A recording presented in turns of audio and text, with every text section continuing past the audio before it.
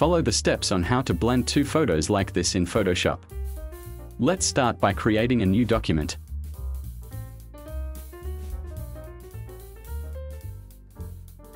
Insert the image by place embedded.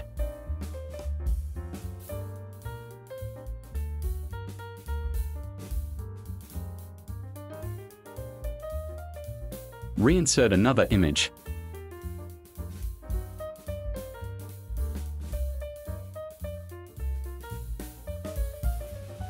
Arrange the images to overlap. Select the top layer and make a mask. Activate the gradient tool. Select the black and white gradient and open the gradient editor. Set it like this.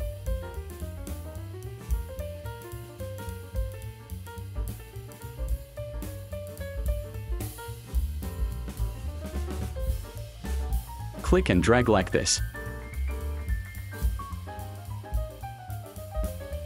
Finished and good luck. Thank you for watching until the end. If there is something you don't understand, write a comment below. Click like for support and activate the notification bell to get the next video update.